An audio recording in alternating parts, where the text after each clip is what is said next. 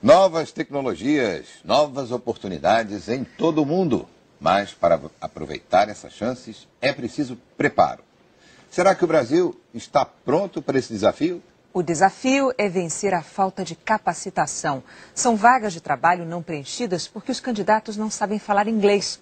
Vamos a São Paulo falar com Mariana Godoy. Mariana, oferta tem, falta estudo. São muitas as vagas, Renata. Agora falta estudo e não é nem do conhecimento de informática. Falta falar a língua que já se tornou universal, o inglês. Esse mercado tem crescido num ritmo dez vezes maior do que a economia brasileira, o que obriga as empresas a investir tempo e dinheiro para dar aos empregados o que a rede de ensino não oferece. Uma indústria diferente, sem máquinas nem barulho. A principal ferramenta é a inteligência. Esta é uma fábrica de programas de computadores. Fábio tinha apenas o colegial quando entrou aqui há quatro anos. As pessoas têm dúvida de vão ser médico, advogado, não. Eu sempre soube que era isso que eu queria.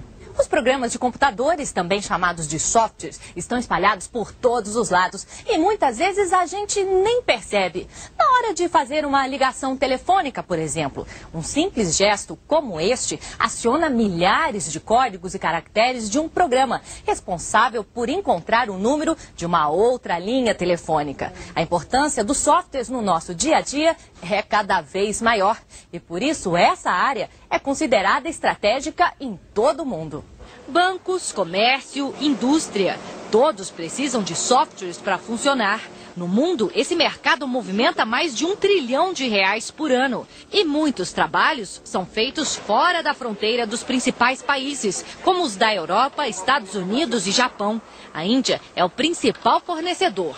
Mas como a procura cresce em ritmo acelerado, 40% ao ano, o Brasil tem um grande espaço para conquistar. De hoje até 2010, nós precisamos preparar 100 mil profissionais, 100 mil profissionais, para que a gente possa exportar da ordem de 5 bilhões de dólares, 10 bilhões de reais em 2010. Hoje a gente exporta um bilhão de dólares, mais ou menos. Clientes não devem faltar. O grande problema para chegar lá é mão de obra qualificada. Hoje, as empresas do setor precisam de 20 mil trabalhadores e não encontram. Esta fábrica fechou dois contratos com bancos estrangeiros no mês passado. Conseguiu contratar 300 funcionários, mas precisa de outros 500. E é difícil achar. O inglês é um problema, é o maior obstáculo que eu acho que a gente vive. Tanto que nós estamos treinando 300 pessoas, uma hora e meia por dia, quatro dias por semana. O maior investimento que nós fazemos em treinamento é inglês.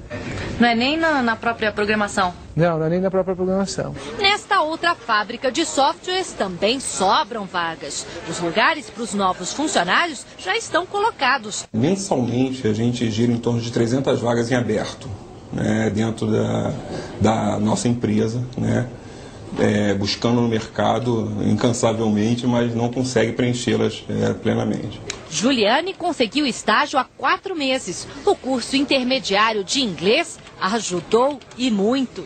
Por enquanto, eu só estudei em, em escola pública, né? Mas a partir de agora que eu tenho meu trabalho, meu, meu salário, então vai ficar mais fácil. A alternativa é a gente se desenvolver. O mercado está pedindo e ele está crescendo 40% ao ano. Então, a gente tem que se mexer agora para fazer isso acontecer. A falta de profissionais que falem inglês nessa área de tecnologia é mesmo crítica. Uma das empresas que nós vimos na reportagem dá até um bônus no salário para o empregado que indicar um amigo, caso esse amigo, esse profissional,